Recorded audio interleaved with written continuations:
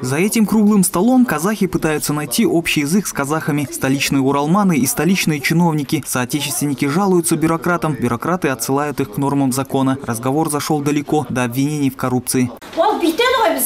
С целым пакетом документов уже три года бегаю от одной двери к другой. Есть посредники, которые за одну печать требуют 40 тысяч тенге. Это бизнес, который покрывают сверху. Представители комитета по миграции Министерства труда и соцзащиты в ответ улыбаются и что-то аккуратно записывают. В качестве арбитра на этой встрече неправительственный сектор.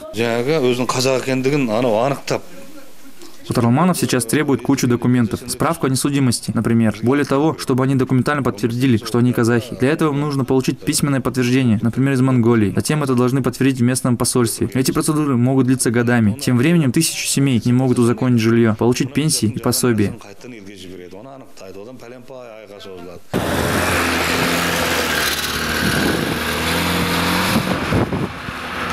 Поселок Коянды в 15 километрах от столицы называют Уралманским. Подавляющее большинство жителей – новые кояндинцы, переселенцы из Китая и Монголии. Семья 66-летнего Кашуры приехала из Китая пять лет назад. Таких, как он, чиновники окрестили самозахватчиками. Землю Кашура по закону получить не смог. Пришлось прибегнуть к серым посредникам. За тысячу долларов, которые выделило государство, удалось купить этот крохотный участок. Сделка незаконная, и домик, скорее всего, снесут. Каждый день грозят снести дом. Хочется вернуться обратно в Китай. Обидно становится, что Родина с нами так обращается. Мы ничего не просим. Дайте клочок земли. Дом мы сами построим. Я терплю. Надеюсь на справедливость.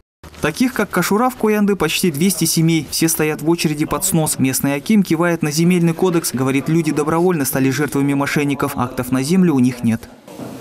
енді Я же вам объясняю, эти постройки не соответствуют генплану застройки села. Какого будет решение суда, я не знаю. Если суд решит узаконить, узаконим. Если скажет снести, снесем.